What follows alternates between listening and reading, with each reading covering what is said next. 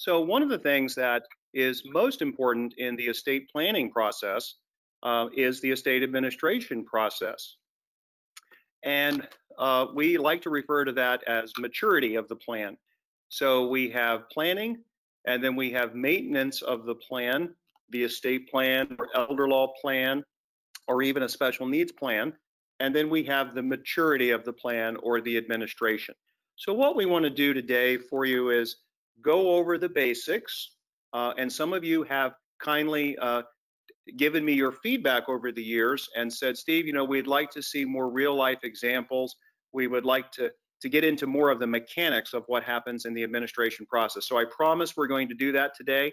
Um, but basically, we're going to take time of our, of our beautiful June day here to unravel the mystery of what happens upon the death of a loved one. Uh, we want to we want to minimize confusion and provide support to clients and family members if you're not a professional advisor at the time of a crisis. And we want to know what is the legal step by step process that needs to be taken after death. And as we get started here, I want to recognize that we have many people uh, on this call. We have professional advisors, we have people who just want to further their knowledge, and I salute you for that. We have people who are engaged currently in administering an estate or trust, and we have people who are trying to get ready for such a possibility. So uh, we want to recognize that uh, this presentation tries to speak to everyone. And uh, if you'll just bear with me, we are trying to generalize this information so that everybody can walk away with something from this, whether you're a client or a prospective client or someone who's trying to administer an estate or a professional advisor. One thing we do know is the estate administration is a fine art and it's very, very important. So let's get into the discussion. So what are the practical steps that should be followed in addition to the bullet points I just covered? What are significant legal and tax issues that advisors should be aware of following a client's death? And how should fiduciaries, personal representatives, trustees and financial advisors, CPAs and attorneys, how can they all work together to best support families, clients, and so forth? So one of the biggest concerns clients have when they come to do estate planning or elder law planning is, uh, you know, what is going to actually happen after the death of a loved one. I can't tell you how many times, with couples especially, but with all clients, that someone will say to me, uh, What happens, for example, if I have a revocable living trust? What happens upon my death? How does that trust get administered? Believe it or not, that's one of the greatest of client concerns. There's a lot of confusion, a lot of ambiguity, okay? We want to understand probate. We want to understand the difference between probate and non probate. Uh, we want to understand how a trust gets administered. And we want to understand that a trust, let's say a will substitute like a revocable trust, is nothing more, again, than a will substitutes, but it does have administration. And sometimes there is this sense of confusion that a revocable trust requires no administration. And that would not be true except in the very, very limited cases, uh, which I'll try to remember to, to expound on. And then there's a transitionary period after someone dies.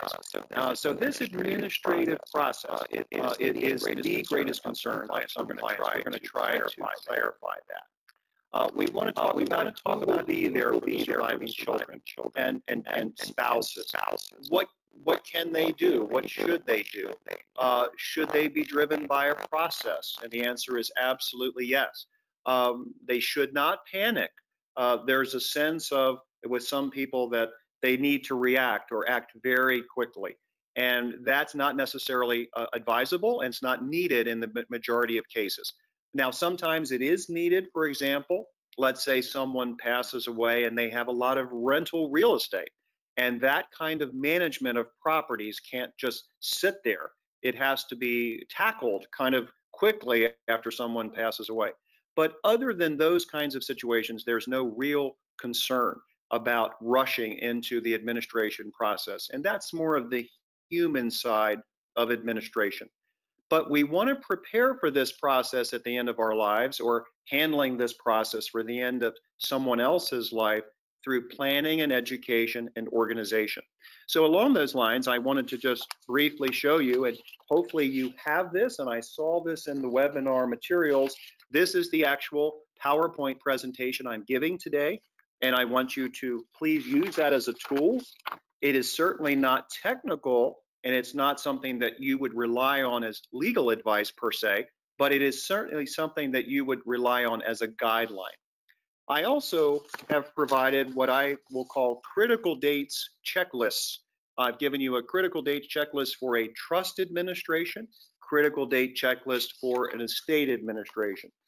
And you can find these online now. There's nothing magical about them, but I want to encourage you again to be driven by a process that is kind of checked off as you go along because do we have liability as fiduciaries? Um, the answer is yes, whether that's legal liability because of something we didn't do that we should have done, uh, tax liability, uh, a moral responsibility to someone who you promised you would take care of their affairs, accountability to siblings or other loved ones that you're accounting for everything in the estate.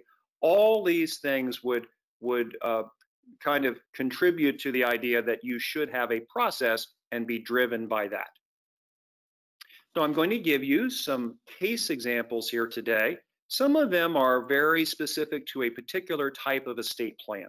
The estate plan structure is there, the clarity of that structure is there, no problem, but we're driven by, a, let's say, a structure. Um, asset specific types of plans. Uh, what if we have a mixture of assets that are causing a little bit of complexity in that plan? Maybe there's a lot of retirement type assets, and maybe there's a lot of situated non probate assets. I know um, on a practice level, I see a lot of non probate assets that advisors are advising their clients to position. Transferable on death assets and brokerage accounts instead of using the client's revocable trust. So, what if someone has a very nice estate plan uh, and that plan is beautiful in every way? But what if the, the assets are being driven by non-probate transfers like transfer on death? We, we might have a mixture of assets. What if there's a specific need? There's a survivor situation that is really different than what happened when the person who died made the plan. So there might be a situation there that doesn't make a whole lot of sense as far as the plan said to do this, but now we have this situation. So what do we do? Uh, is there any flexibility built into that plan?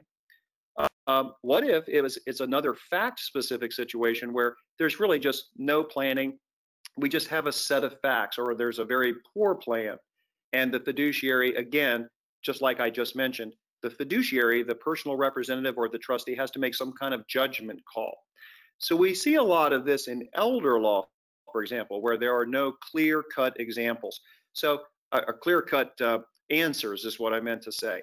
So if you're administering an estate or trust and you see something uh, that that you just say, "Wow, this is ambiguous," eh, just know that sometimes this happens. We are driven by a process. We want to kind of orchestrate the the estate or trust administration, and it can be very much an orchestrated step-by-step process that actually can be very uh, satisfying intellectually. But there are times when things won't make sense and we have to make judgment calls. There's lots of times when that happens. So let's just get into some case examples. And many of you have asked me to really focus on these today. So I'm going to do my best to do that. And I'm giving you an example here of a single person. So we will call this person uh, Felix. He was a single person. He was never married, but he has a, he has a child. So this person has passed away. If you look at the bottom of the slide, this person has an estate plan. So he's one of the minority of people who has an estate plan in this country. Uh, he has a will, and his will is very simple. So everything goes outright to his son, Charles. And so let's just see what goes through probate because we've got a situation here where right away, when we look at the limited set of facts I just just talked about, what do we know? We know we have a single person. We know we have no no spouse involved. We know we, this person is is not young. He's 77, uh, although arguably that is still young today. and he has one child, Charles. We have no information that Charles is disabled. Uh, it's it's all just very straightforward. So that, now that we know that, we know that we're going to be dealing with an estate. But let's see if we have any estate assets. Okay, because what do we know about probate? We know that probate is a process, and in some states, that process is more onerous than others. So, for example, in Virginia, my understanding is that probate is very straightforward compared to Maryland. So, we, in Maryland, we, we still have a pretty robust probate process. So, here we have to figure out do we have anything in Felix's name? Do we have anything in Felix's name that is solely owned by him, solely owned, with no beneficiary and no joint owner? No beneficiary and no joint owner. So let's look at these assets. And the answer is yes, we do have some of those assets. Typical residence, what would you do as a personal representative to know that his residence was worth $300,000? Well, you would most of the time get an appraisal. There are some limited circumstances where an appraisal would not be something that is done, and perhaps the personal representative would rely on the state assessment the State Department of Assessments and Taxation real estate assessment. So that is not acceptable in some circumstances, and it is acceptable in others. Nine or eight or nine times out of 10, we want to get a formal appraisal. So one of the first duties of the personal representative is to get date of death values. When we open up this estate and we know we're dealing with a will and an estate, what else do we know? This is a regular estate. It's an estate of more than $50,000. So the personal representative will have a petition for probate that's going to be completed, and they will petition for probate. It's a regular estate. And we know, just looking at this residence, that residence was in sole name, and we're going to verify that it had no remainderment. So let's say that he owned a residence by deed and it was in his sole name. It had no beneficiary, so to speak. It had no remainderment from a life estate for Felix with a remainder to Charles. This is not that situation. He owns it. He owns it outright in his sole name. So that is in probate. Checking savings and CDs, $200,000. Significant cash is sitting there. So what do we know? Well, according to this set of facts, uh, this is in his sole name. There is no POD, payable on death beneficiary. There is no POD beneficiary of the CD, the certificate of deposit. So what do we know? This is in probate. Now we look at his IRA. What is the first thing we're going to do other than determine the date of death values? We're going to make sure there's a beneficiary. And that beneficiary is probably Charles. But are there times when the beneficiary is missing? And the answer is yes. The beneficiary could be missing, God forbid. And if that were the case, I say God forbid, because now that IRA is going to be basically subject to immediate taxation. It will be payable to the estate. So it will not be in the estate if it has a beneficiary. If it does not have a beneficiary, it will be in the estate. And it will be subject to probate, which is unfortunate. It will also be subject to the default rule of five years. This IRA has to be taxed in no more than five years. And what we what we know in practical terms is that the IRA will be subject to almost immediate taxation as part of the estate administration process. I saw a case uh, a few years ago where uh, I was looking at a special needs plan and I saw the estate of the deceased person who left money to the special needs beneficiary. And I noticed that there was about $300,000 of tax, not just $300,000 of an IRA, but $300,000 of income tax in the estate. And when I inquired to find out why that had happened, it was because the deceased person, the decedent, had died with no beneficiary. So that's what you're going to do. You're going to immediately check for beneficiaries. So, so far, what do we know? Our residents, the checking and savings and CDs are in probate. The IRA hopefully is not in probate because it has a beneficiary. Now we look at the savings bonds. Savings bonds are, unless there's a joint owner or a payable on death beneficiary, savings bonds are in the estate. Excuse me, I just had a pop up on my screen. Savings bonds are in the estate in this example because we have no joint owner and we have no payable on death beneficiary. Now, what do we know about savings bonds? Taxation is due upon the death of the decedent when those bonds are cashed, okay? And we know we have a unique situation here. Not only are those bonds includable in probate, but we have to figure out how the income tax is going to be paid on those. So if we're dealing with a savings bond situation, and this is pretty substantial, I've seen some estates that had more or less savings bonds in them, but we've got an issue here of who's going to pay the tax. So your CPA or attorney is going to look at this issue, and in many cases, it will not just be the decedent paying the taxes, it might be the decedent, the decedent's estate, and the beneficiaries might all three share in the taxation to try to get the tax as low as possible.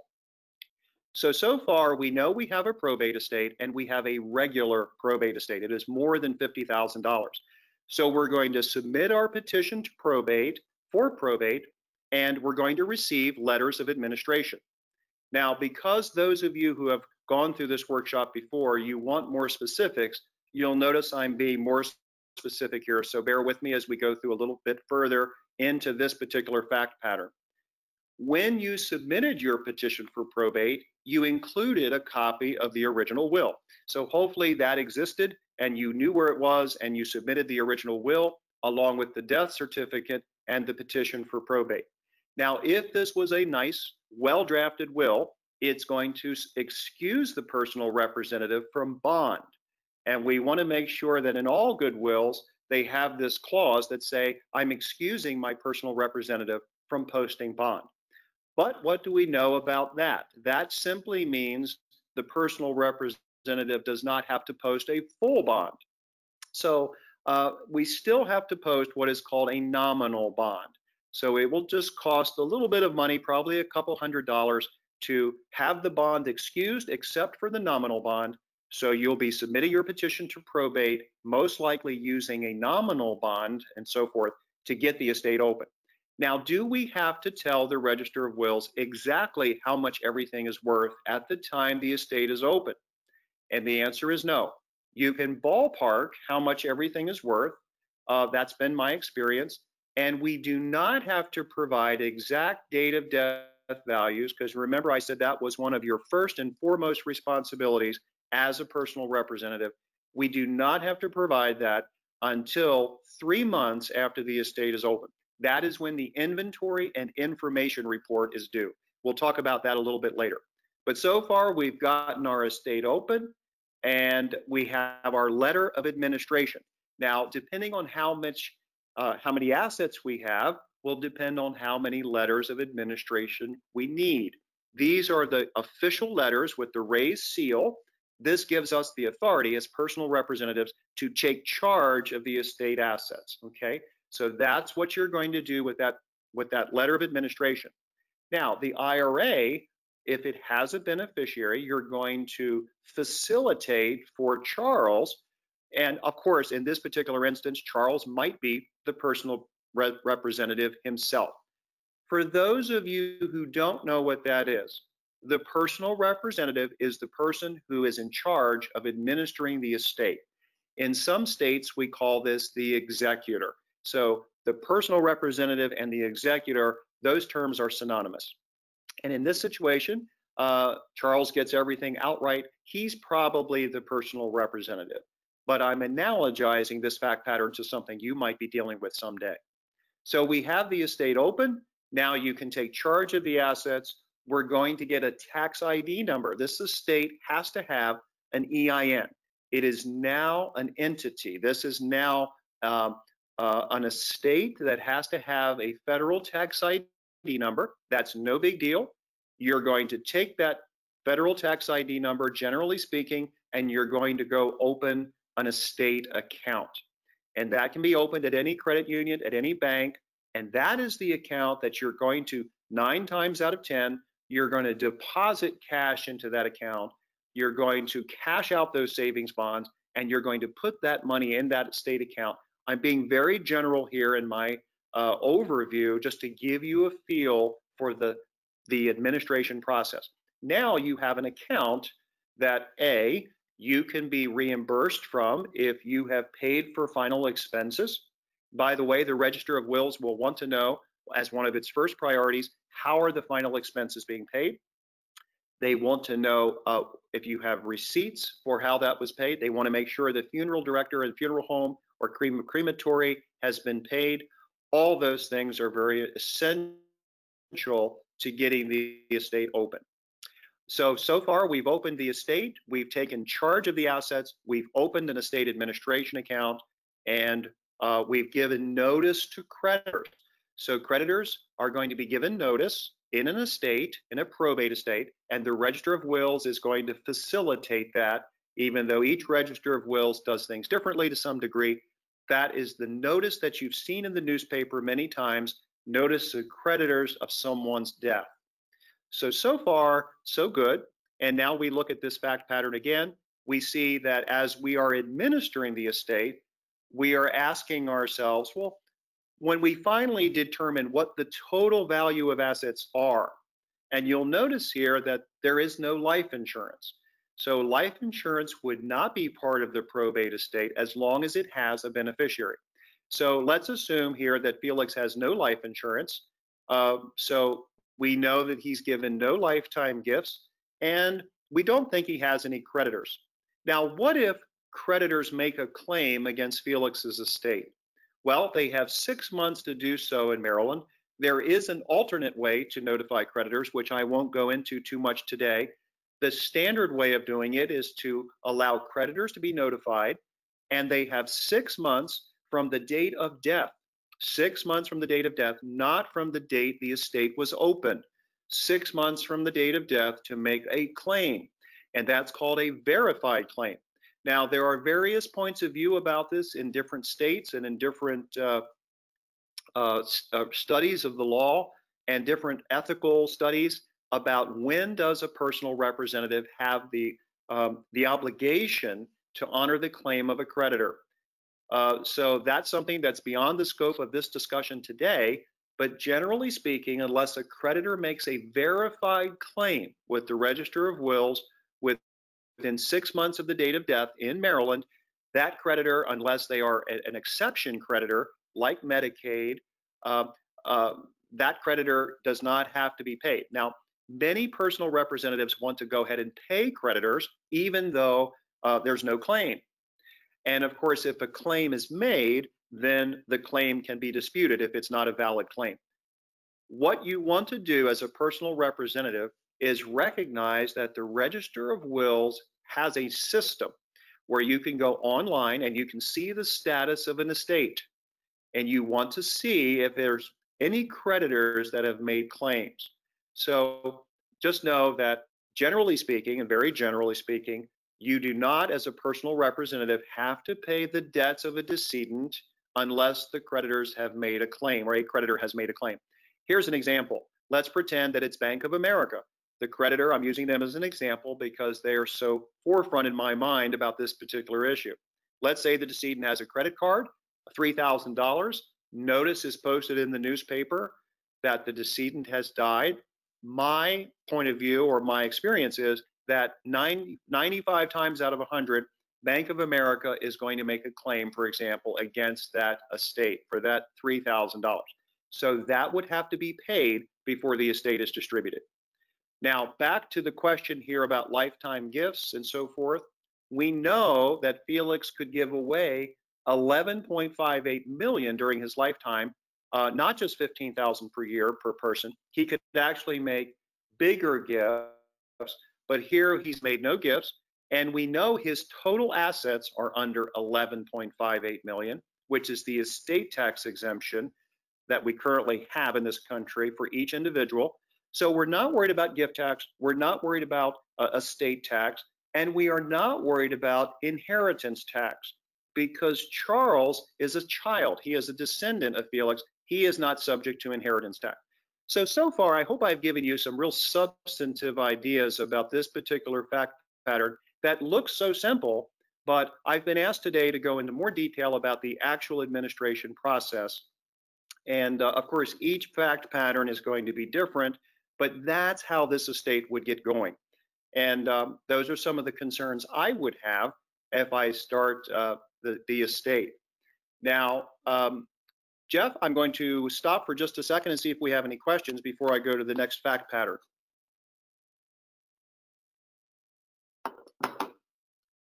Steve, um, just had one brief right. question. Uh, one brief question from the very beginning. Um, when you mentioned at the beginning, um, something related to um, planning, maturity, or administration of plan, you also mentioned another um, word that could be related to the administration of the plan. Do you recall what that word was? One of our attendees um, was asking that question.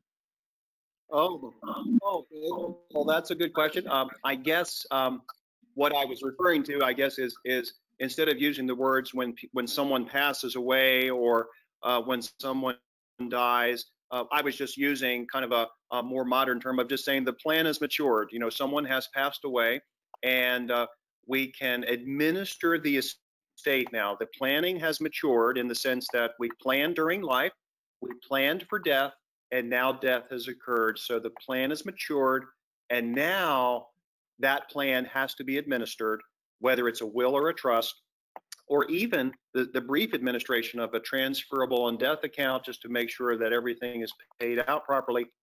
Uh, that's probably what I was getting at. And I apologize, I can't remember the exact word. All right, as we move along now, um, this is the hypothetical fact pattern number two. And Jeff, by the way, your audio is breaking up a little bit. You may want to move locations. I'm just giving you that heads up. Okay, um, Uh, so this particular fact that. pattern, we have a married couple. uh, I do have one more question, Steve, uh, if you can And, um, uh, hear me. Um, question Yes. is, you mentioned there would not be any estate tax in your example. What about state estate tax? Isn't Maryland estate tax limit much lower than the $11 million federal limit? That's an excellent question. So thank you. Yes, I kind of skimmed over that, didn't I? So uh, the state of Maryland's estate estate tax exemption is five million per person, and um, ju- you know depending on what the federal exemption uh, amounts are in the future, the state amounts may fluctuate. So the state of Maryland says a single person can leave five million with no state estate tax, and we know Maryland is one of the only states in the country that has a state estate tax and an inheritance tax. So uh, I guess that's the situation for us here as Marylanders. Um, but in that in that example, with Felix being a single person, he also would have no state estate tax. Thank you for pointing that out. Now, in this fact pattern, we have a. Uh, you're welcome. We have a, uh married couple. Uh, let's call them Jack and Janet. Uh, they have three children. And if we go down to the bottom of the slide, we see that they have a revocable living trust plan. So, for those of you who are not familiar, a revocable trust is nothing more than a substitute for a will.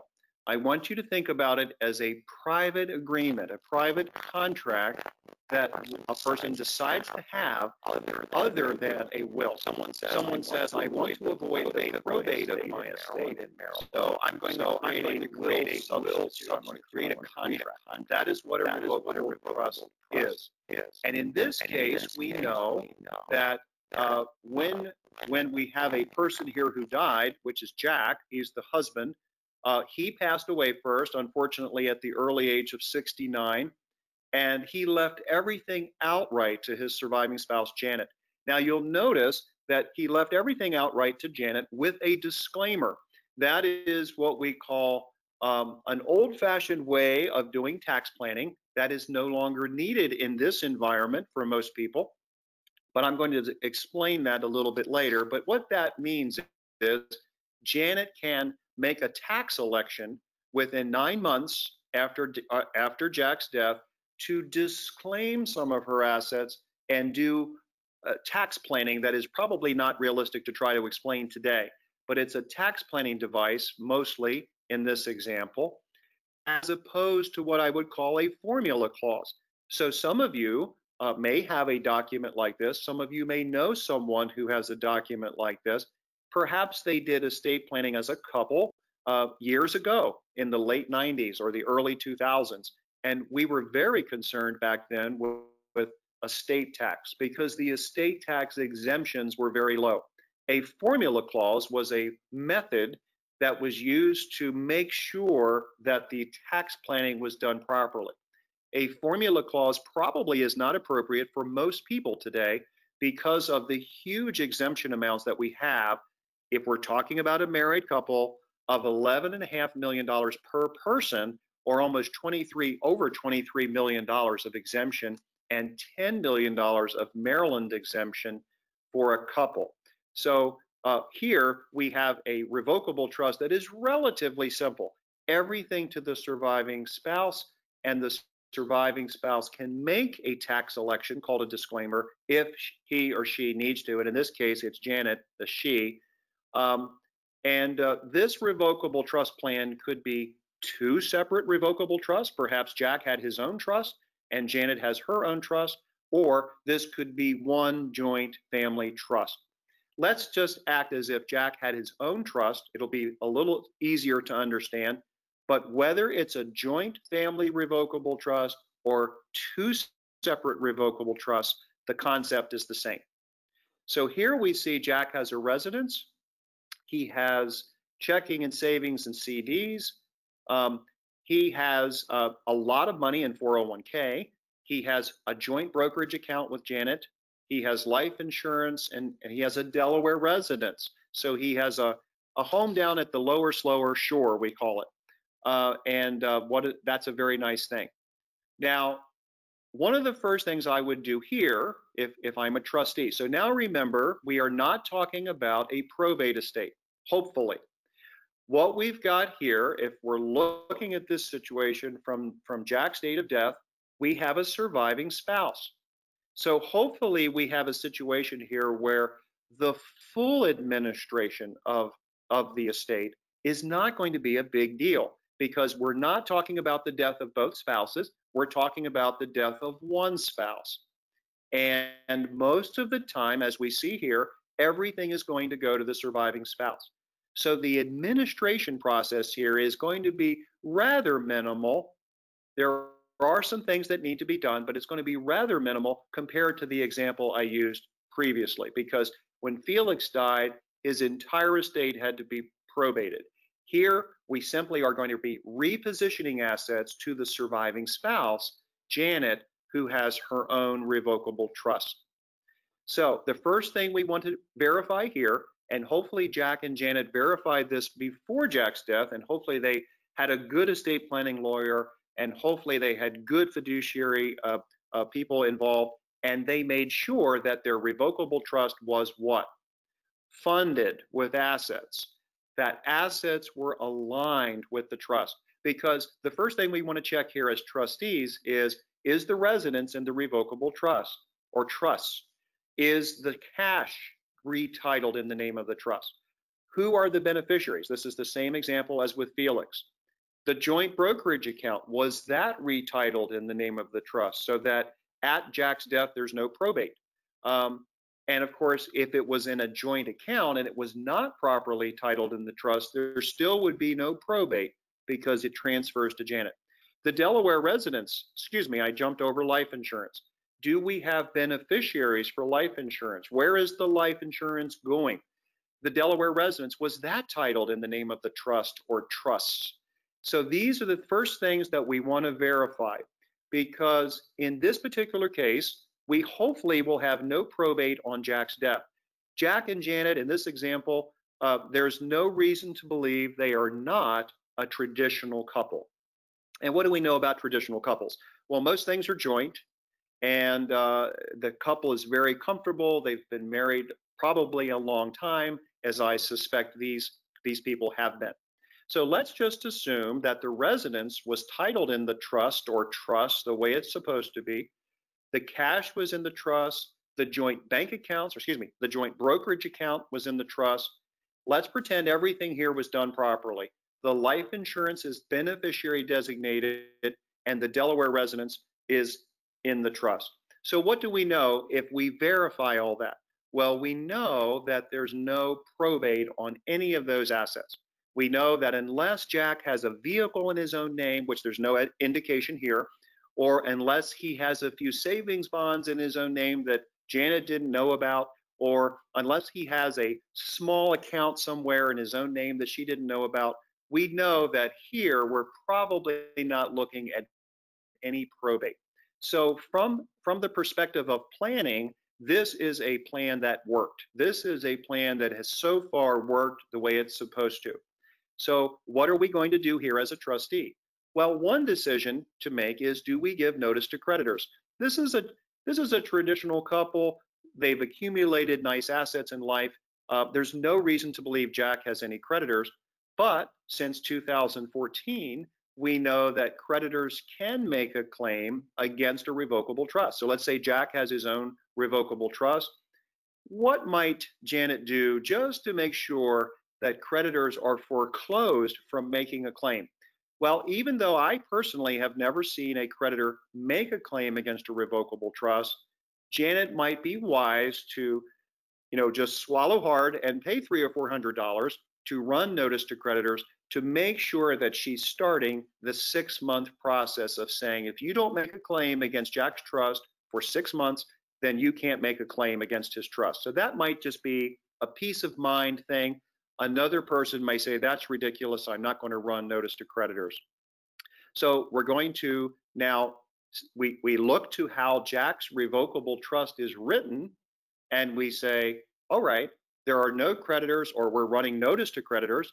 Um, when do we start this retitling process? So probably that would start fairly soon and the residence can be transferred to Janet, can be transferred to her trust. The checking, savings, and CDs are transferred to her trust. The 401k, most likely, is going to be beneficiary designated to Janet. Not always today with the Secure Act and so forth, but probably 95% chance that's going to need to be have a death claim made and the and the beneficiary will be Janet and she will set up her new rollover IRA. The joint brokerage account hopefully was in the trust. If it was, Jack's portion is going to be moved into Janet's trust because she gets everything outright. If it was not in the trust, because here in the fact pattern, it was just a joint brokerage account. So now Janet has received that, and now what does she need to do? She needs to take that 600,000 and put it in her trust because she's got a non-probate estate plan. She has her own trust. She wants to go on forward in life with that trust. She's going to make a death claim on the life insurance and the Delaware residence was hopefully in the trust and that will be moved to Janet's trust. Now, I'm just checking with Jeff here. Is my audio good, Jeff? All right.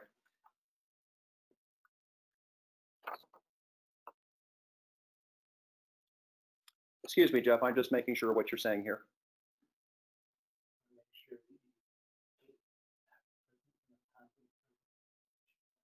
Yes, yes. Thank you, Jeff. So here uh, we have a situation where the planning is working the way we want, and now what are we worried about? We're worried about the same things that we are worried about in probate. We're worried about getting date of death values. We're worried about whether we have final tax returns filed. We're worried about whether Janet wants to make a disclaimer of the assets. And we know that right now she's not going to probably make any disclaimer because there's no need to. She has 23 million of exemption. She's going to file a federal estate tax return, in my opinion, and she's going to choose the portability election.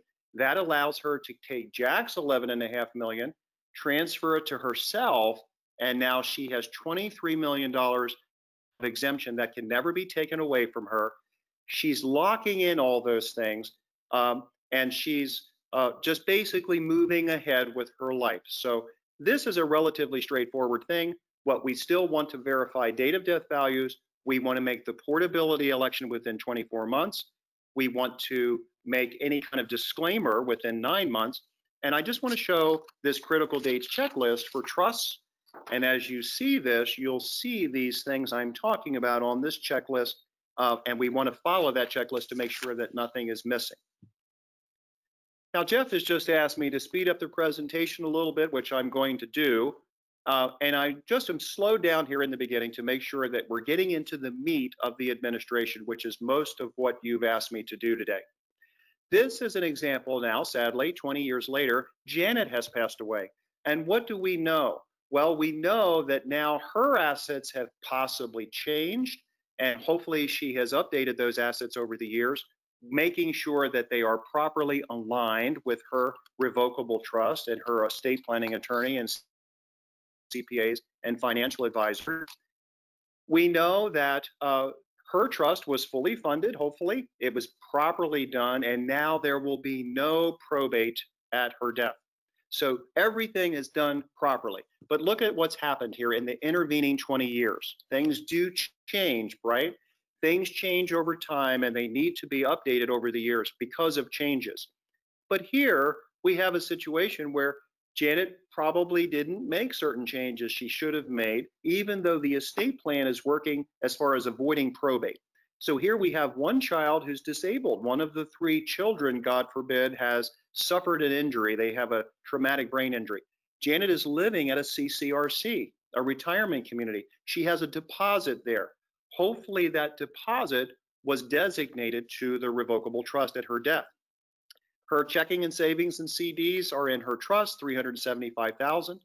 Her IRA plus the rollover IRA that she received from Jack is 1.2 million. Look at this stock market performance. She's done very well there. Uh, her $600,000 is up to 1.3 million 23 years later. Hopefully, all those things are in her trust as, as retitled, except for the IRAs, which are beneficiary designated. She's bought a Florida residence, and hopefully that's in the trust.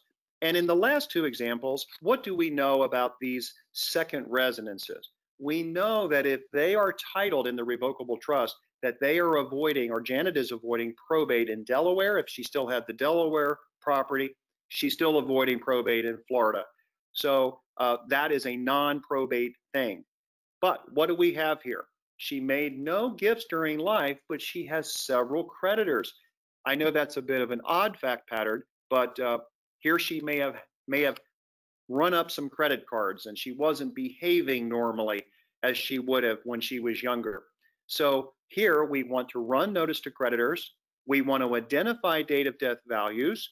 We want to make sure we are facilitating the transfer, the, de- the death claims and the transfer of the IRAs to the children, okay? Making sure the children can set up their own inherited IRAs, and everything is going equally. And look at this one thing at the bottom of the slide. All the assets are going into further trusts. So Jack and Janet were smart. They were concerned about asset protection for their children, and they have further trusts. So not only is Janet's trust going to be administered, but the assets for the children are going into further trust to protect them from bad marriages and creditors and bankruptcy and so forth. Uh, but the problem here is the trust that is left for the disabled child, that trust is not a supplemental needs trust. That is a general needs trust. So we may need to be concerned, and we should be concerned as trustees, we should be concerned about the after the administration process, which we're going to get into in just a second. We need to be concerned with how is this going to be distributed. So possibly the document allows for the flexibility, meaning Janet's trust may allow for the flexibility to leave assets in a certain way for the disabled child. That is going to be more advantageous, a supplemental needs trust instead of a general needs trust. But if it doesn't allow for that, which many modern documents do allow, there may need to be a decanting of this trust, meaning a changing of this trust through other state decanting laws like Virginia, Delaware, Nevada, and other places that have decanting laws to make sure that child is not going to be disqualified from waiver programs or other traumatic brain injury resources that this person might be eligible for. I'm going to quickly go to the fourth fact pattern. This is the fact pattern where we have no estate plan and we have someone who has a very unique situation, but I have actually seen this in my practice. Uh, even though it does sound somewhat far fetched, it isn't. This person dies and was married but separated. And uh, he had two children. His name was Ricardo. And his spouse actually belongs to a, a community that lives out west. And so there's a lot of ambiguity here. Now, after the last two examples, we are back to an estate. We are not in a trust. This is an estate. Because what do we know about probate? Wills, by their very nature, are subject to probate, but estate plans that basically don't exist, meaning no estate plan, no will, no trust, the state of Maryland has its own plan, and that is called the laws of intestacy. So here, Ricardo dies without a will. His personal representative will have to be appointed. That means that a petition for probate will have to be filed by someone, and that person will have to ask to be appointed. That is called judicial probate. That person may or may not have to get the permission of many people, but here we know we have two children.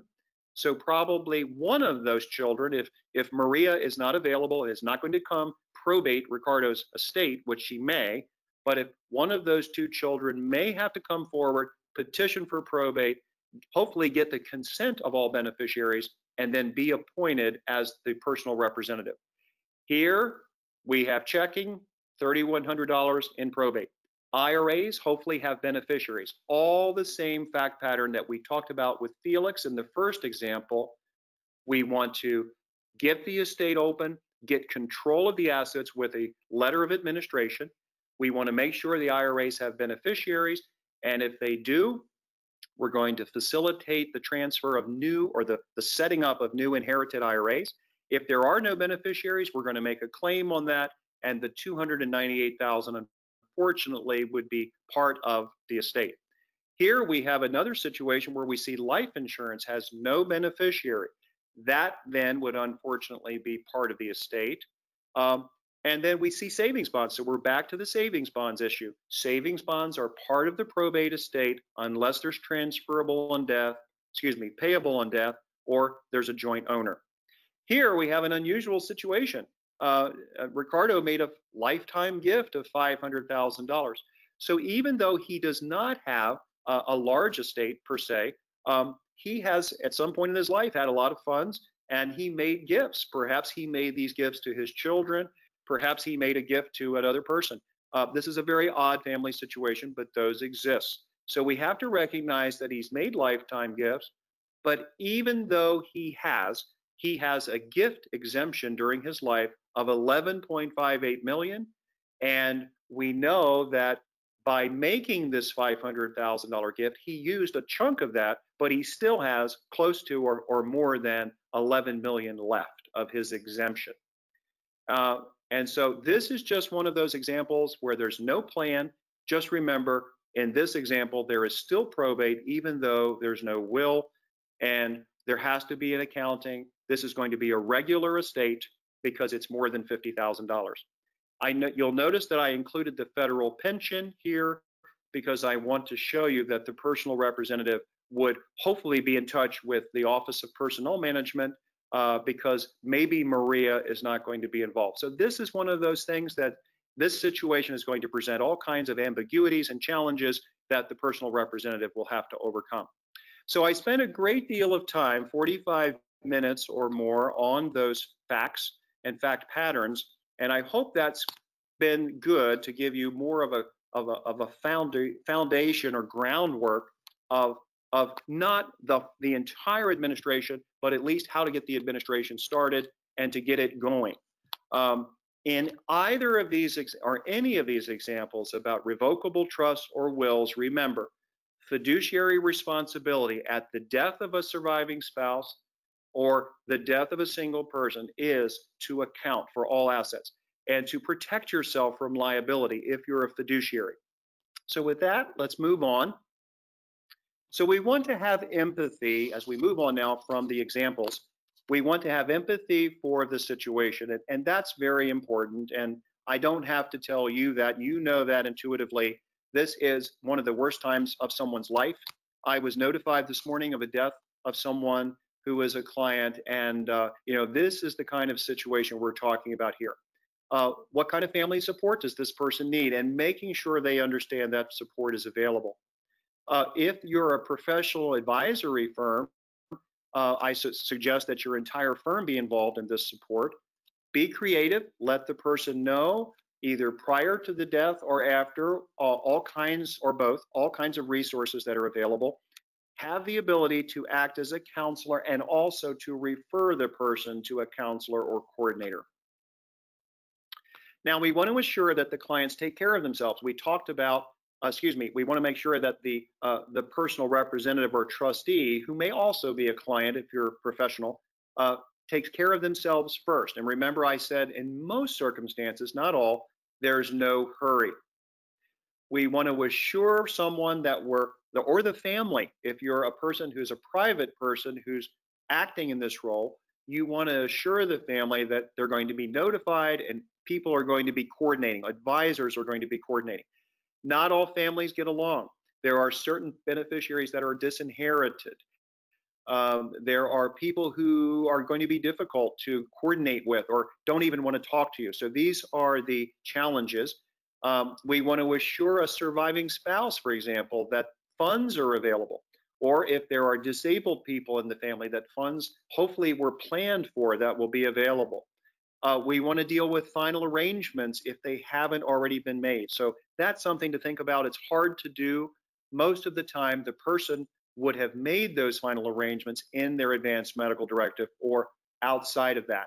Um, we want to talk about family related issues. So if there are challenges with people uh, who are uncooperative or they are disgruntled, we want to know that as fast as we can and try to figure out a way of dealing with that. Of course, we want to send uh, and be sensitive to people by sending uh, sympathy bouquets of flowers, attending funerals and memorial services. These are things that are very high level and best practices. So, the legal steps that need to be taken after death, which we've talked a little about so far, probate in our two examples of Felix and Ricardo, non-probate in some in our examples of Jack and Janet, largely non-probate, these are similar processes. What I'm trying to drive home with those examples is there are people who believe there is no administration necessary in a trust administration, meaning they feel that if it's a revocable trust, for example, because there's no probate, there has to be no administration. And that is not true. Now, there are times when someone who's a single person, for, for example, uh, they have a perfectly done revocable trust. Their assets are perfectly situated. They maybe have one child. Um, that goes to that. everything goes to the child at the death of the person. There is no no one to really account to. Those are exceptions. Those kinds of situations work beautifully where administration is pretty minimal. But where we have more than one sibling and kind of conventional situations, uh, checklists and critical dates and organization is absolutely essential to fulfill your fiduciary responsibility. So we talked about a little bit of this in our examples. Date of death, we have death certificates issued. This many times happens with funeral directors. Other times there are situations, for example, during COVID-19, we had many clients out of this New York area uh, having difficulty getting a, a letters of administration excuse me, we having difficulty getting death certificates and letters of administration. We know that inventories, we, we talked about when is the register of wills or when do we have to give the register of wills exact numbers about values. Remember, that's done on the inventory within three months of the date of death, excuse me, three months of the time the estate is opened.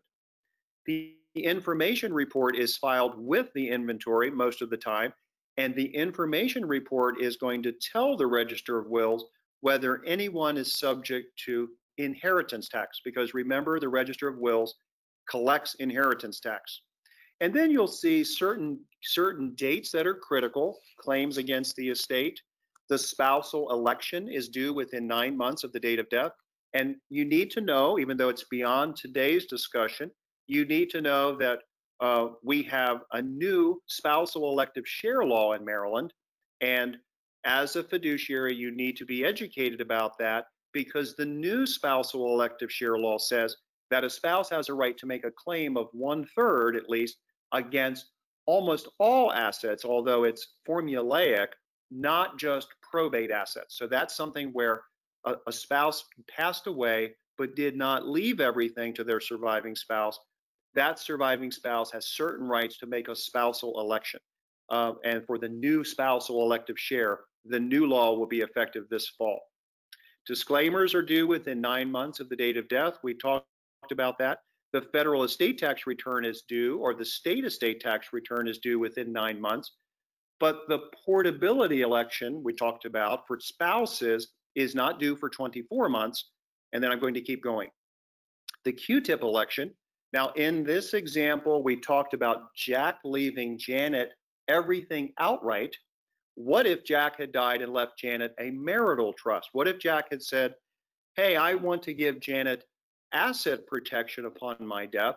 And I also want to make sure that at her death, everything goes to my children. I don't, I want to have some form of control. Then we would be worried about establishing a marital trust, and that would require what is called the Q-tip election. Qualified terminal interest property is the is the uh, description of the acronym, and that is due in 15 months. The good news is the Q-tip election and the portability election are made on the same 706, the estate tax return for federal purposes. The first administration account in an estate is due within nine months after the letters of administration and so forth.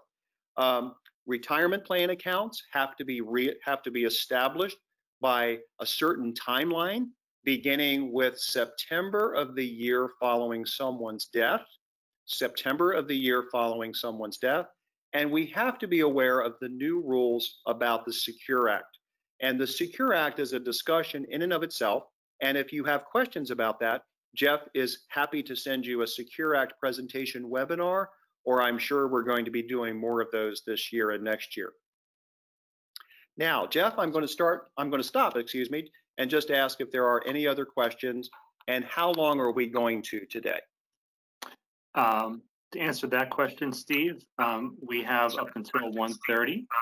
Um, we do have another question uh, from the uh, attendee, and that question is, is there never probate if there is a revocable trust? And Jeff, can you repeat that again? Is the question, is there probate in a revocable trust? Is there never probate if there is a revocable trust? Oh, that's a great question. So thank you. So uh, great question. So let's say we have a revocable trust, and let's just take uh, Janet's example, the third illustration that I gave, where the surviving spouse, Janet, had passed away let's pretend that everything was properly situated. It was beneficiary designated if it was an IRA or insurance policy, or if it wasn't, if it was a non retirement asset like cash or brokerage accounts or the real estate, everything was in the revocable trust.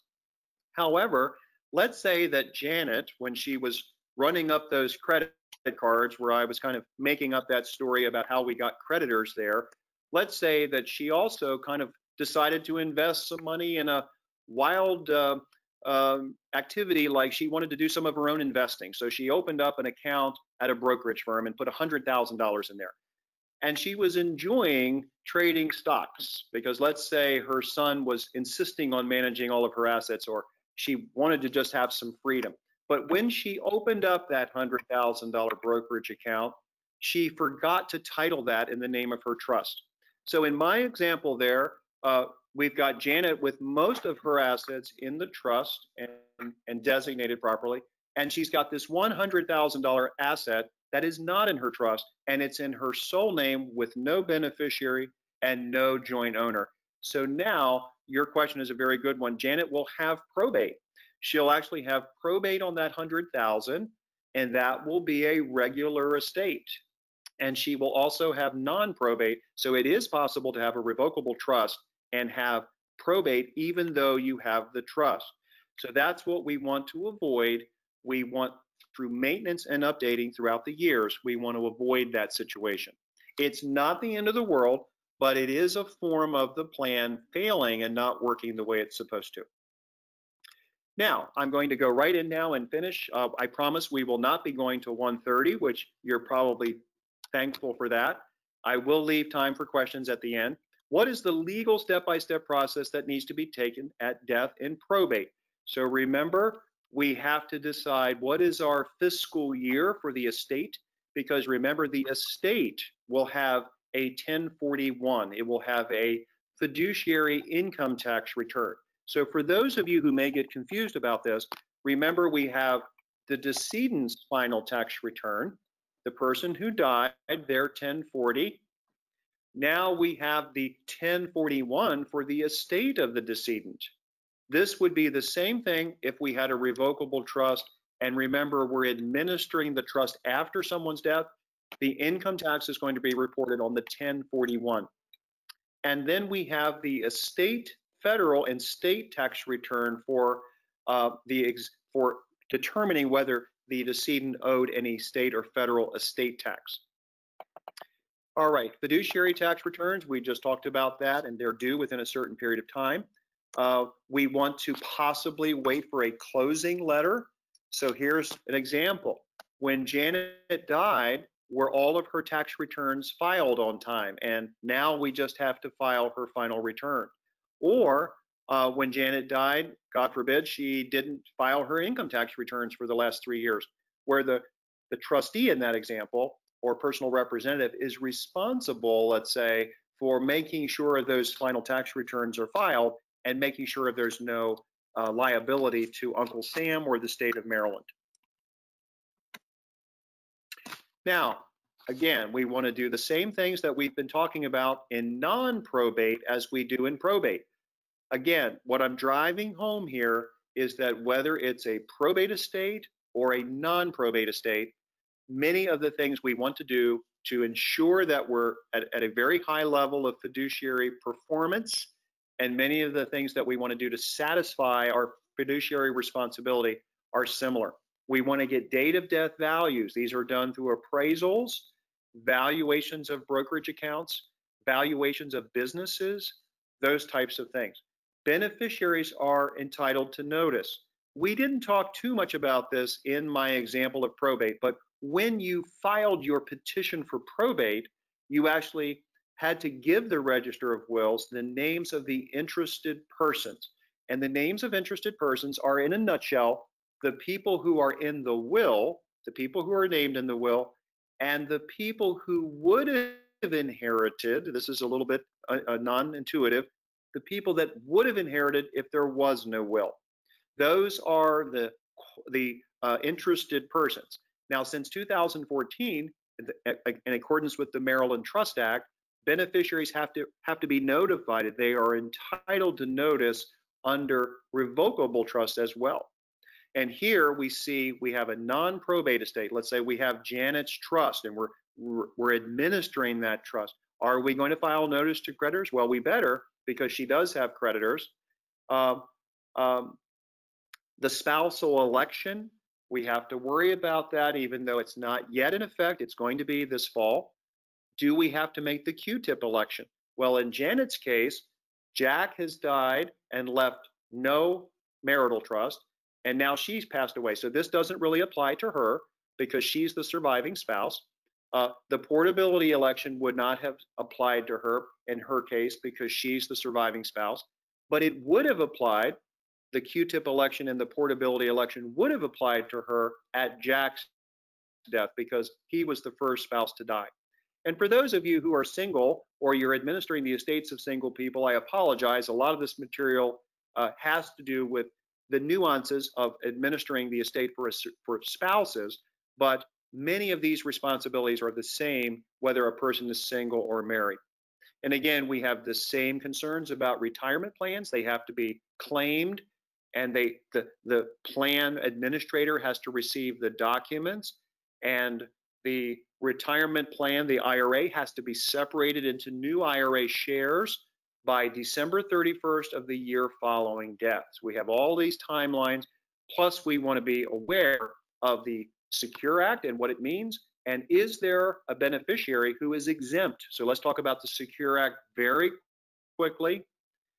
The Secure Act stops beneficiaries unless there is an exception, stops most beneficiaries from being able to receive their inherited IRA and stretch that inherited IRA out for their entire lifetimes. This has been something we've accepted as normal in our lives for the last 30, 40 years. Now, because of the Secure Act as of January 1st, 2020, you cannot do that if you're a healthy beneficiary. Now, this does not apply to spouses. It does not apply to uh, ch children that are minors, minors only, uh, children. It does not apply to chronically ill individuals, and it does not apply to uh, disabled individuals, someone who has a supplemental needs trust or special needs trust, and it does not apply to siblings who are not more than 10 years younger than you. So let's say you had an older sibling, Secure Act does not apply to them. If you had a younger sibling, but that sibling was only eight years younger than you, uh, Secure Act does not apply to them. So all of those people who are exempt, those people can stretch out their IRAs when they receive them for their entire lifetime, but not uh, anyone else because there is no there is no exception. And what we're dealing with there is that person, if the planning is done properly, that person can only stretch out the IRA for 10 years. And then all the IRA money has to be distributed out. That creates a tax situation, okay? And maybe as a fiduciary, what you need to know is who are the exceptions, who is, who is exempt, who is not exempt, and you also want to be aware that even for those people who are exempt, the limited group of people who are exempt, if the planning is not done properly, those people can still be subject to the default rule, which is five years. So we have a 10 year new rule for normal beneficiaries, healthy beneficiaries. We have the exceptions to the Secure Act, people who can stretch out retirement plans without paying tax for their entire lives. But then we have the old default rule, which is five years or less. And we know that if planning is not done correctly for even those who are ex exempt, that it could cause the five year rule to kick in. So we have to be aware of that as a fiduciary.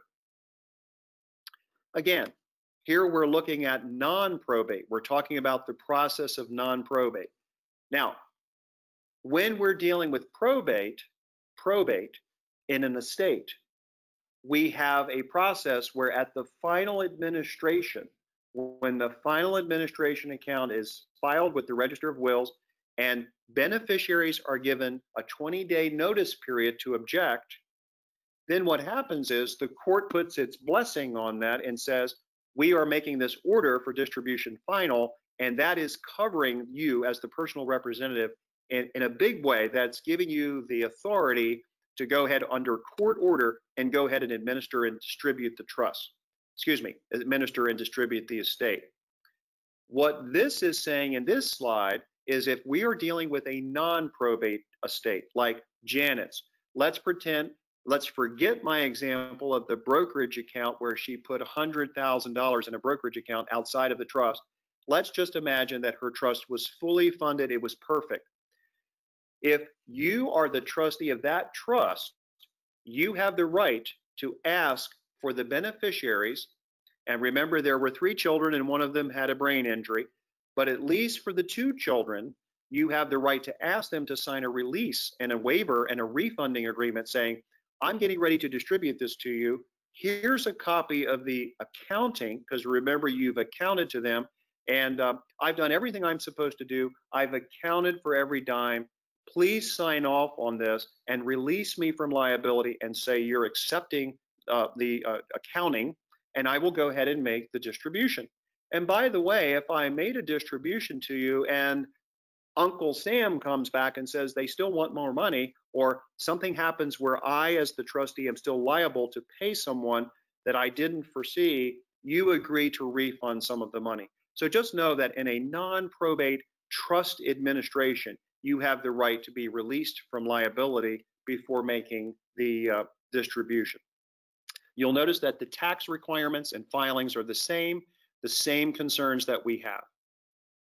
So we've talked about examples, we've talked about the process, we've talked about checklists. And by the way, again, notice that one of these checklists is for estates, one of them is for trusts, and uh, these are for your educational purposes.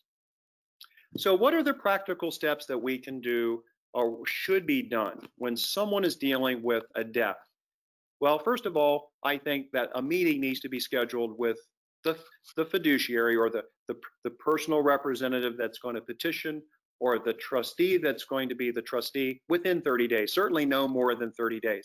Now, if the meeting doesn't occur until after that, which it usually doesn't, it's not the end of the world.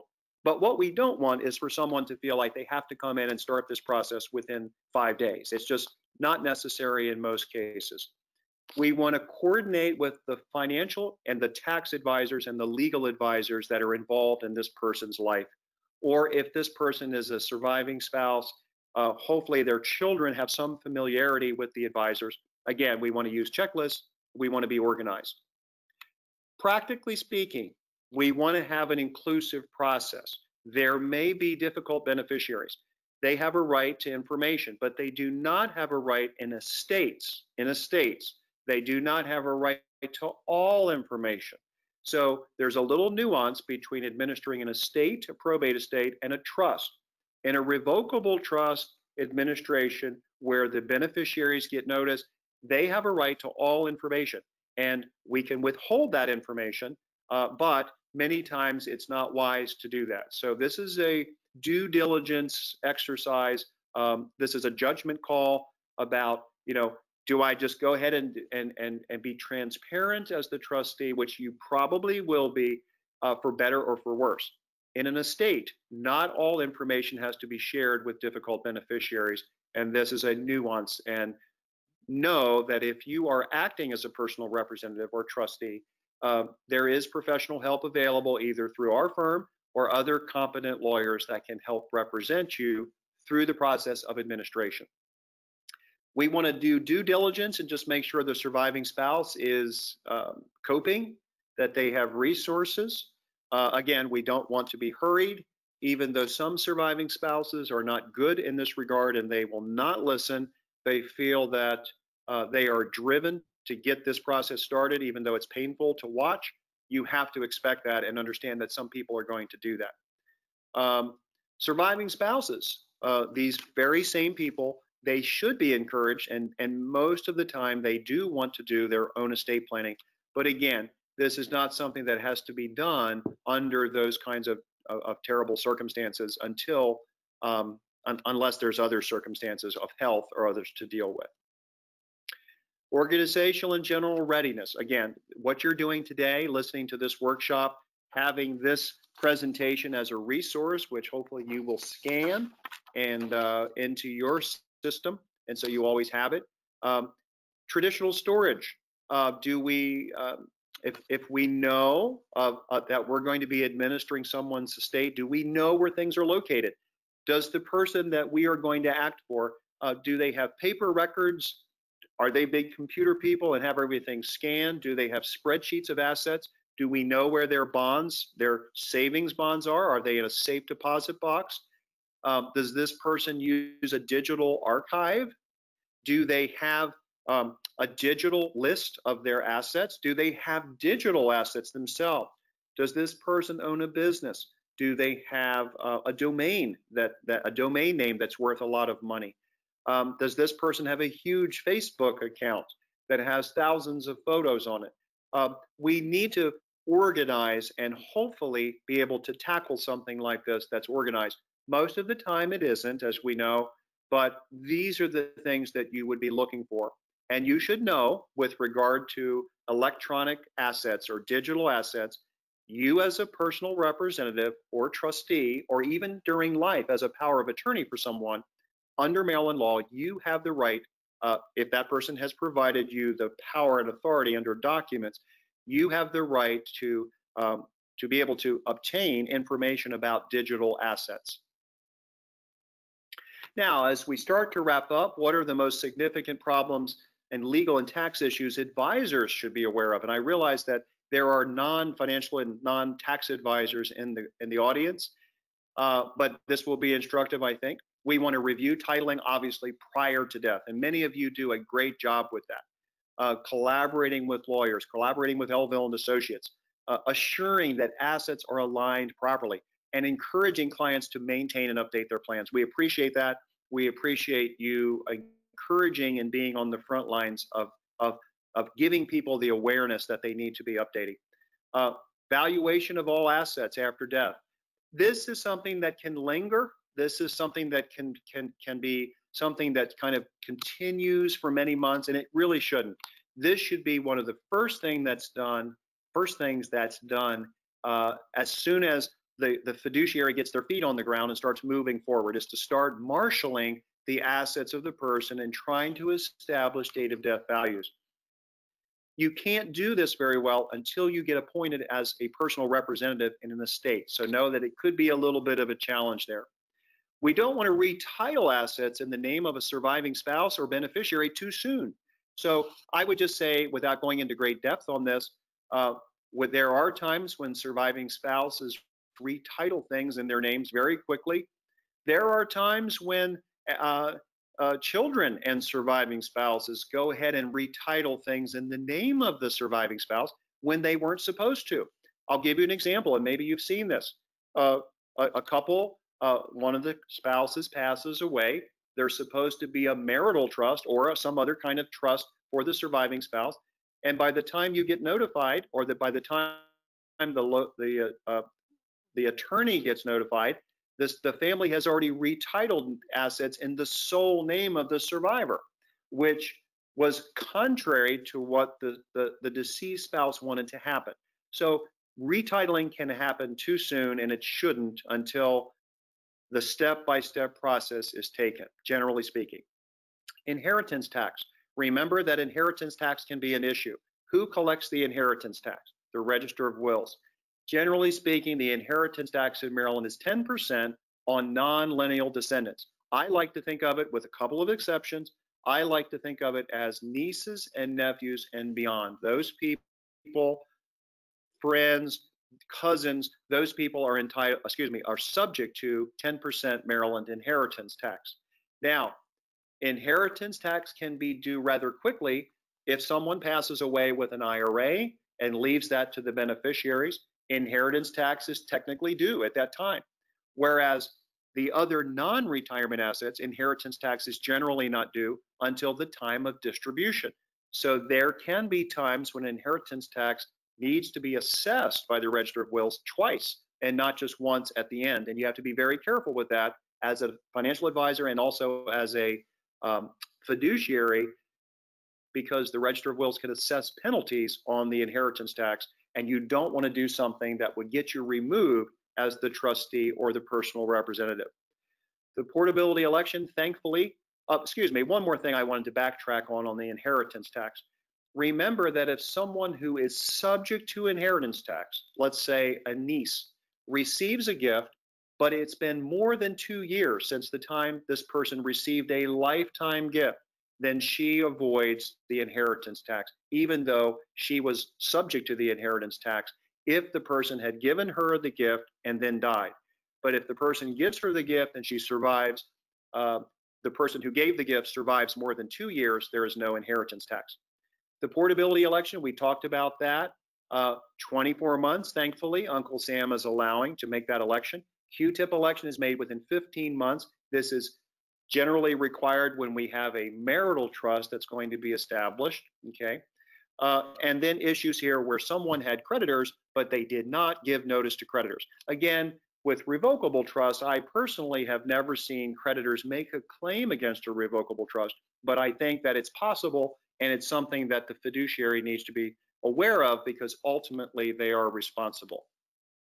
So I strongly advise our, our advisors and our collaborative team to communicate completely together, to have a meeting face to face when things are better, or to have a Microsoft Teams or other kind of meeting virtually to to to make sure that everyone is on the same page. And who will quarterback this? who will coordinate with the client. If you're not a financial advisor and you're going to be the fiduciary, I would demand of my advisory team, the attorney, the CPA involved, and so forth, uh, that uh, and financial advisor involved, that everybody work together. And I would demand to know how it's going to be coordinated, because that's not an easy thing to do, even though we want to do that. Um, we should be, uh, you know, investing significant time to make sure all assets are properly aligned. We don't want to have, from a planning point of view, we don't want to have a beautiful plan, but the assets go elsewhere. We don't want to have that situation. We don't want to have a situation where assets are exempt from income tax or at least exempt at death from income tax uh, until they're used and then cause a situation where the estate uh, causes an income tax on otherwise non-taxable assets. We want to expedite meetings and plan for if someone is ill. Obviously, that's common sense, but it would be shocking to you to find out how many law firms, how many advisors do not uh, hurry things up even when they know that there's an ominous situation. So we want to make sure that happens. And we want to encourage clients to use instructions. We want them to include a letter of wishes, or if we wanted to call it a letter of intent or a memorandum of intent. We want them to customize their estate plan, tell their fiduciaries what are the nuances, what is their thinking, what are their goals, it can't do anything but two things personalize the person's estate plan and also give the fiduciary special instructions that I'm sure would be very useful given the person's personal concerns. We want to utilize advanced organizational tools during life. If you don't know what those are, Jeff and I or your advisor can tell you. We want to encourage the education of family members we don't want to just appoint people as fiduciaries. We want to make sure they're educated and know what to do. Uh, this can preserve the value of the estate. It can also uh, just make sure that disputes are minimized and that everyone is on the same page. Uh, again, we want the advisors to be coordinated. We want a systematic method. We want to be able to disseminate information quickly. And we want to instill confidence in people that this is actually going to happen and that there's a mechanism to do that. So Jeff, I wanted to get through there because I know I spent a lot of time on the examples, uh, and Jeff, rightly so, told me to speed it up a little bit. Um, we still have time for questions. I know that's an awful lot to throw at you. I didn't stop talking almost the whole time, and I appreciate you listening very intently to this very dense information. Some of you already know a lot of these things. Some of you, this is new for you. I'm going to open it up now for questions, but I want you to know we are we want to be a resource to you. The advisors who know us at Elville and Associates want to be a resource to you. They are tremendous. They believe in the same things we do, uh, or whether they're tax advisors or financial advisors, that it is in clients' best interest to have education and to have the support of a team. So Jeff, with that, I'll turn it over to you for questions, if any. Thanks, Steve. Um, first, uh, a virtual hand to Steve for a job well done. Um, I uh, listen to that uh, on a quarterly basis and uh, always learn something. So, but I will never give that presentation since I'm not a lawyer. So, um, so thank you, Steve. We do have one question, um, and uh, looks like it's a little bit of a two-part question. So I'm going to try to get through it here. Um, could you please address the two times charge possibly assessed by the Registry of Wills? Also, could he please review the two-year deal? How would that even happen? Plus, under 15,000 is never assessed an inheritance tax though, right? The questions above relate to an inherit to inheritance tax. All right, thank you for that question. So I did bring up a little bit of a nuance issue there. So let's talk about the inheritance tax.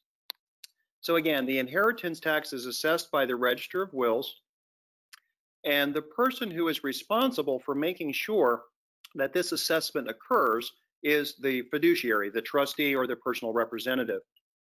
Now, uh, I have never heard of a $15,000 limit on the Register of Wills assessing inheritance tax you may or may not be referring to the annual exclusion amount which is 15,000 per person per year that can be gifted, and Uncle Sam doesn't really even care about that.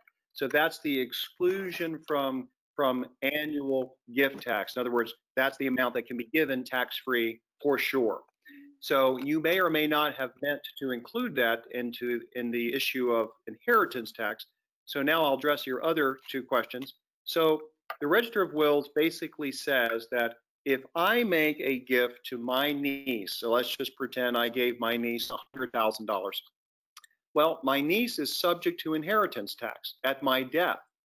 But if I died four years later, which is, of course, beyond two years, if I died three years later, which is beyond two years, my niece would not be subject to inheritance tax. But let's say I died um, one year later, God forbid.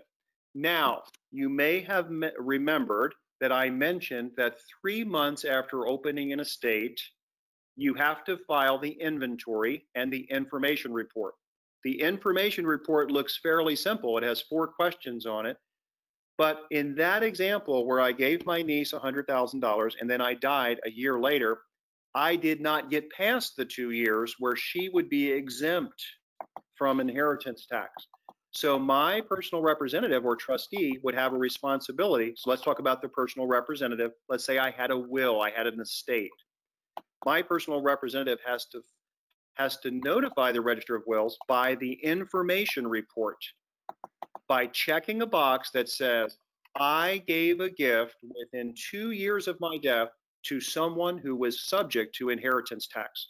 So that is their responsibility to disclose that. Now, if they don't disclose that, uh, which is their duty, then the Register of Wills may never know any better. But their duty is to fulfill the tax laws of Maryland and to make sure that happens. Then the Register of Wills would assess inheritance tax. Now, let's say that I didn't have a probate estate and I had a revocable living trust and I made a $100,000 gift to my niece. I was never going to have a probate estate. I did everything perfectly and my revocable trust had no probate.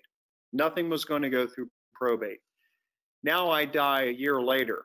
My trustee has the same responsibility.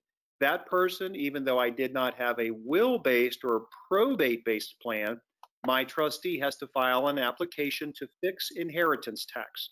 So there's a form called Application to Fix Inheritance Tax on Non-Probate Assets. I know that's a mouthful, but that's the form that has to be given to the Register of Wills.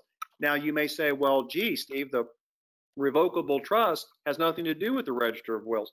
That is correct, except my fiduciary has a responsibility to let the Register of Wills know that there will be inheritance tax that needs to be assessed. So that should answer the question about uh, the lifetime gift.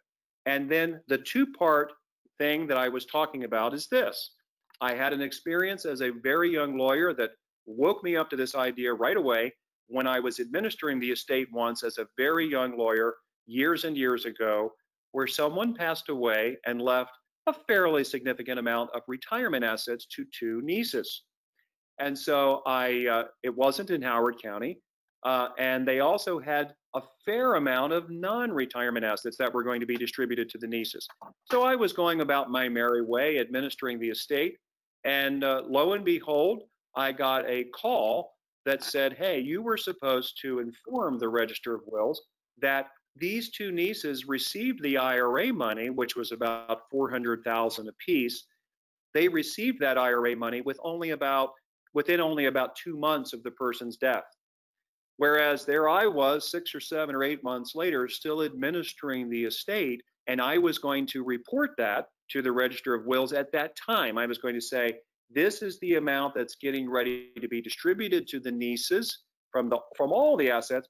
Please give me uh, an, an assessment of inheritance tax. And of course, we were going to account for all the money, and the Register of Wills was going to get all their inheritance tax money but the Register of Wills in many counties will take the position that my responsibility was to let them know when those beneficiaries received the, the IRAs, and they received them pretty quickly, I was supposed to let the Register of no, Wills know at that time so they could assess the $40,000 of inheritance tax on that $400,000 IRA at that time. And then when the balance of the estate was distributed years, or not years later, months later, I was supposed to inform the Register of Wills again to assess inheritance tax prior to the distribution.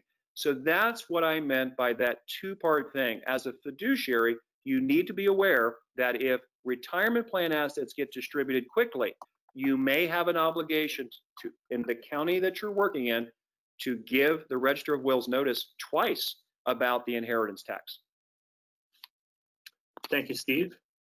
So last call for questions, everyone. We do have one more. Question is, is the Maryland inheritance tax applicable on estates of Maryland residents regardless of the residency of the recipients? Yes, I think uh, I'd have to see the particular situation you're referring to, but I think if I understand your question, generally speaking, the answer is yes. If you are a resident of Maryland and leaving assets to non-Maryland beneficiaries, uh, then the inheritance tax still applies. Very good. Thank you. So last call for questions. And while we're waiting for maybe those last couple questions, um, I'll say a couple things to finish up. I uh, want to thank you for attending. We appreciate your support of our webinar series um, and uh, certainly hope to see you sometime down the road back here in our office here at uh, Columbia Gateway Parkway. Um, a couple things. Um, we do have a, a, few more webinars coming up very soon. We have a trustee workshop next Tuesday at 11. Um, we have our friends at Maryland Able um, presenting on the 22nd at 10 a.m. And for advisors, we have our next advisors forum on uh, July 10th at 12:30, and invitations for that are going to be forthcoming. Also, want to let you know, Elville Associates is celebrating its 10-year anniversary today, um, and we are very um, blessed um, um to say that we're doing that. And um, we've gone from, I've been here for seven years. Um, I've known Steve for, I think, probably about 18 years. Um, so we've gone from two employees to 19 employees and have grown steadily over the years. Um, and uh, we couldn't have done it without you, people like you. And want to thank you for your support over the years. Um, uh, we've done it by taking care of clients, um, focusing on education, collaborative with our clients and our advisor community, um, and being compassionate in everything we do, um, in every every single thing we do every day with our clients and our communities that we serve. So, thank you for being part of Elville Associates. We do appreciate it and look forward to being here for many many years to come. Uh, we we do appreciate uh, um, you being part of it. So, um, other no other questions. We see some congratulations coming through. So thank you very much. We appreciate it. Thank you very much. Um, thank you. Um, you will receive a survey uh, immediately after the webinar is over. Um, if you would be so kind to send in your comments uh, about um, today's uh, webinar, we'd really appreciate that. Um, give us your thoughts about the content. Um, give us your thoughts about the setup. We're always trying to tweak it and um, you know, make it perfect um, for our attendees. Also, it's your time to um, request a, a, meeting with Steve to discuss your um, planning, anything related to planning. Um, a lot of our consultations are at no cost, so um, take that time to you know use this education that you've just uh, just gone through and put it to use, put it into action, and uh, take that next step. We encourage that. So um, if there are no other questions, let me just double check. There are none. We'll go ahead and call this webinar to an end, and uh, we look forward to seeing you again very soon. Thank you very much. Have a great day.